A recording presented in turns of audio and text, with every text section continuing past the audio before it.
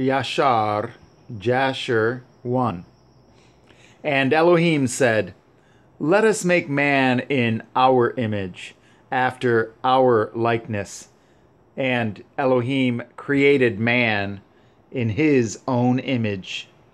And Elohim formed man from the ground, and he blew into his nostrils the breath of life, and man became a living soul endowed with speech. And Yahweh said, It is not good for the man to be alone. I will make unto him a help meet.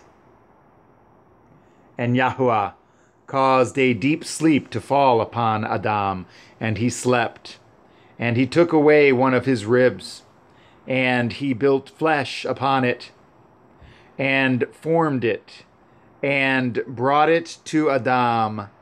And Adam awoke from his sleep, and behold, a woman was standing before him.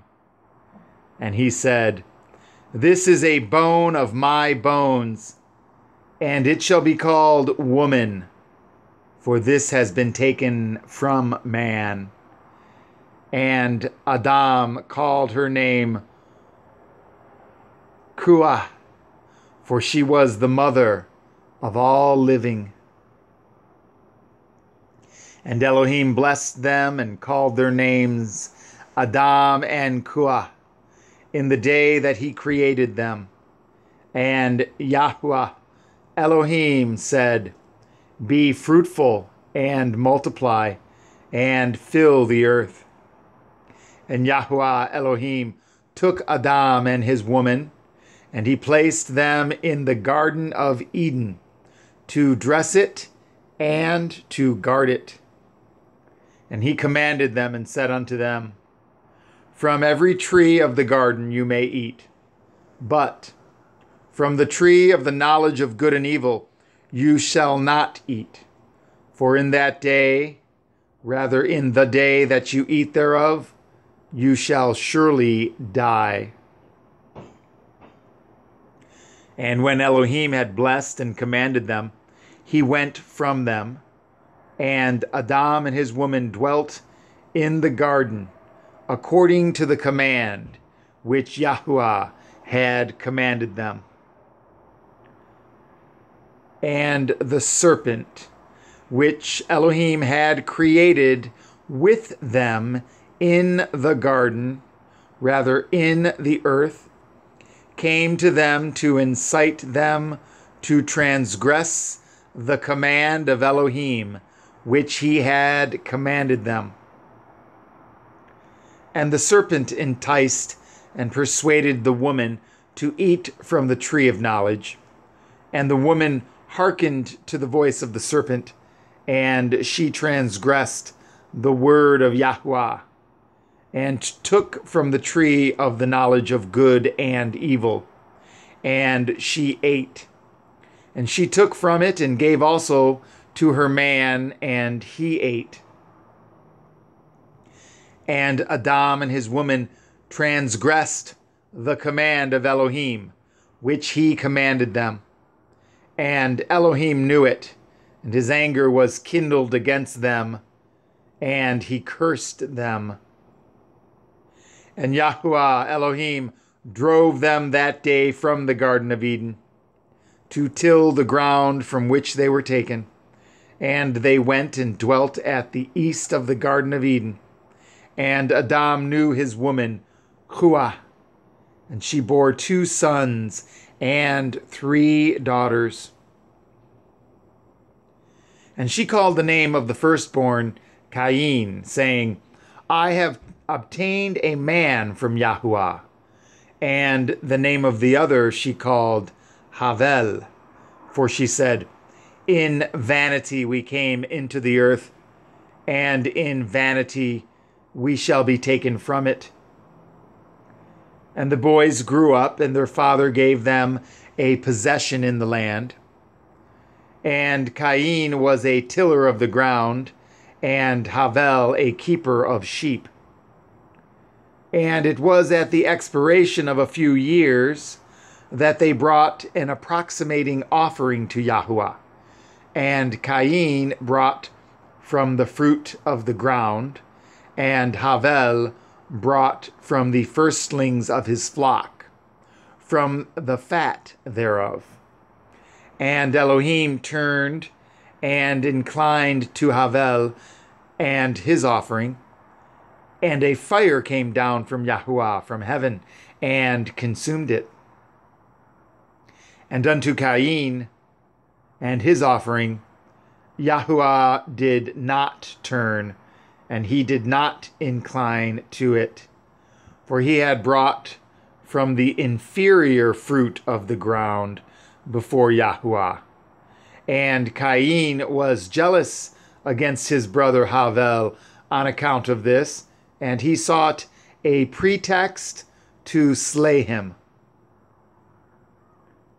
And in some time after, Cain and Havel, his brother, went one day into the field to do their work.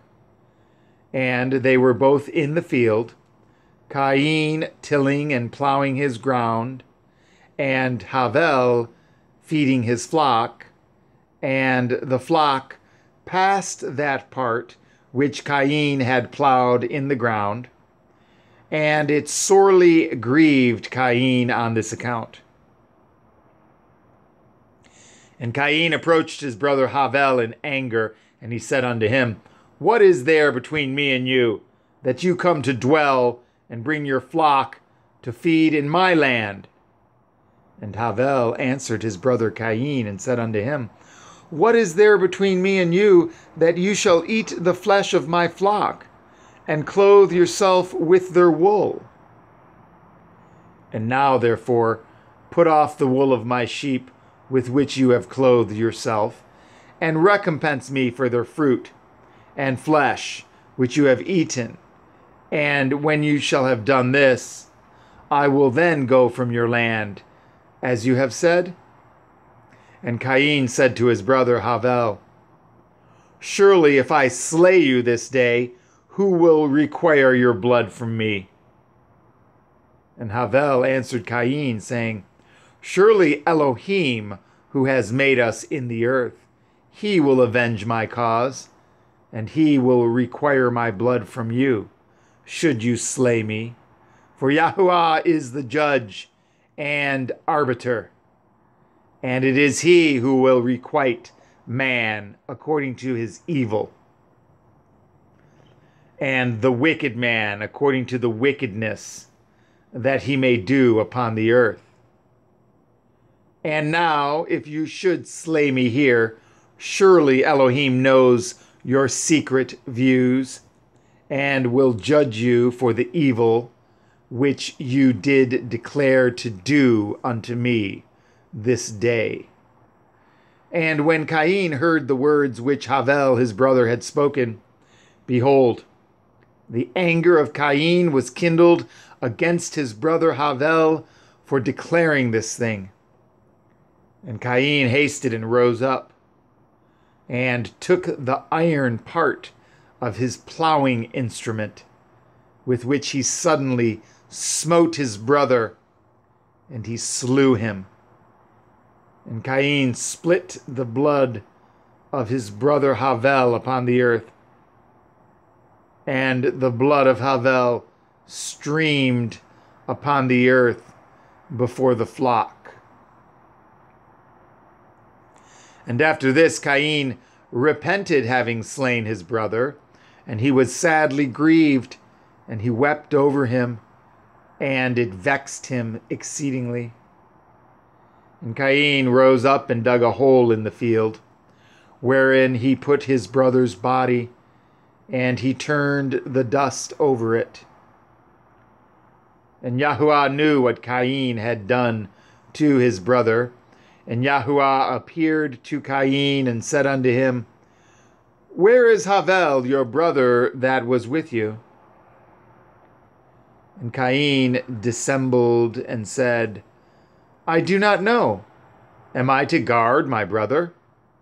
And Yahuwah said unto him, What have you done? The voice of your brother's blood cries unto me from the ground where you have slain him. For you have slain your brother and have dissembled before me, and did imagine in your heart that I saw you not, nor knew all your actions. But you did this thing and did slay your brother for naught, and because he spoke rightly to you. And now, therefore, cursed be you from the ground, which opened its mouth to receive your brother's blood from your hand, and wherein you did bury him. And it shall be with, rather, when you shall till it, it shall no more give you its strength as in the beginning. For thorns and thistles shall the ground produce, and you shall be moving and wandering in the earth until the day of your death. And at that time Cain went out from the presence of Yahweh, from the place where he was, and he went moving and wandering in the land toward the east of Eden, he and all belonging to him.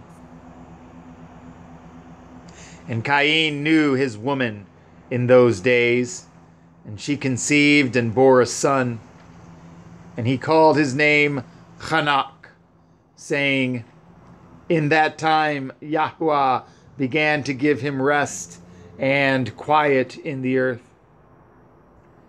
And at that time, Cain also began to build a city.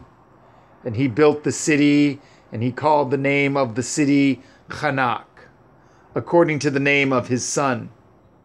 For in those days, Yahweh had given him rest upon the earth, and he did not move about and wander as in the beginning. And Irad was born to Chanok, and Irad begat Mehuyael, and Mehuayel, rather Mehuyael begat Methusal El, and Methusal El begat Lamech,